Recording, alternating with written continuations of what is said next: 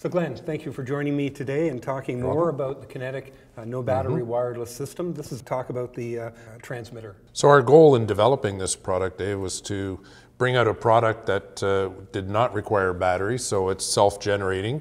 Um, as you press the switch, it generates a small microburst of, of energy, enough to power the transmitter and send the signal uh, to the receiver. Presently, we have our four and a half inch square uh, line, so the CM45 series, the CM46 series, and then we're going to be rolling out the other switch models uh, shortly. You can order these uh, these switches on their own, uh, or you can order them as kits. It'll come with two switches with the transmitters mounted behind, two mounting enclosures, and an RX90 receiver. Right.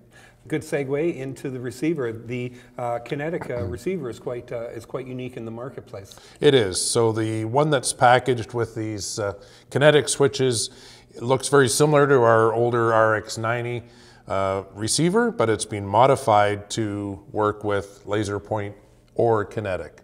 So the same receiver works with both technologies.